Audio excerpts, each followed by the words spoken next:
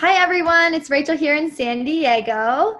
You are just one week away from the eight week mark, which is halfway. And I hope you're all feeling the effects of these beautiful, fine ripened fruits, veggies, and berries coursing through your veins. I was definitely feeling it by this point when I was just starting out.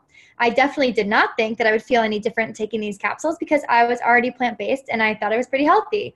I understood the science and definitely believed it was smart investment in my long term health. However, six to seven weeks in, I started waking up before my alarm clock, which was my early rising son, with tons of energy. I was clearly sleeping better. My food choices were improving. Rather than eating bagels every morning with my little guy, we were reaching for things like fruit, smoothies, oatmeal, even carrots because we wanted that stuff.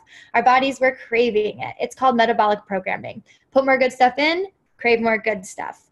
I started blowing past illnesses that were going around the family and my son's daycare. My stamina and recovery as a runner started to improve.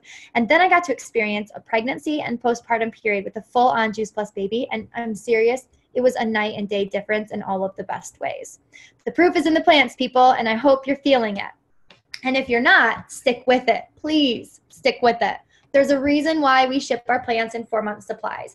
It takes 120 days for our red blood cells to regenerate as new. So give your body time to adjust and your cells time to remake themselves. You are giving your body so much nourishment every time you throw back those capsules, those gummies, or those shakes. And I promise you, your body is thanking you.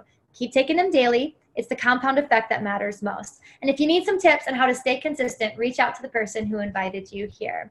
Take care, everybody.